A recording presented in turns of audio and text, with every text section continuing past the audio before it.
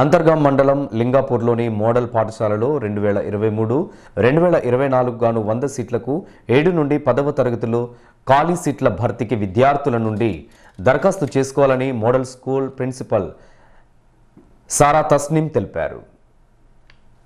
ఈ నెల పదవ తేదీ నుండి ఫిబ్రవరి పదిహేనవ తేదీ వరకు ఆన్లైన్లో లేదా మీ సేవా కేంద్రాల ద్వారా దరఖాస్తులను స్వీకరిస్తున్నారు. జనరల్ విద్యార్థులకు రెండు వందల రూపాయలు బీసీ ఎస్సీ ఎస్టీ దివ్యాంగులకు నూట ఇరవై ఐదు రూపాయలు ఫీజుగా చెల్లించాలని వెల్లడించారు. పరీక్షల హాల్ టికెట్లను ఏప్రిల్ ఎనిమిదవ తేదీ నుండి డౌన్లోడ్ చేసుకోవాలని ఏప్రిల్ పదహారవ తేదీ ఆరవ తరగతి విద్యార్థులకు పది గంటల నుండి పన్నెండు గంటల వరకు ఏడు నుండి పదవ తరగతి విద్యార్థులకు మధ్యాహ్నం రెండు గంటల నుండి ఐదు గంటల వరకు పరీక్ష ఉంటుందని మే నెల పదిహేనవ తేదీన ఫలితాలు వెల్లడించనున్నట్లు తెలియజేశారు.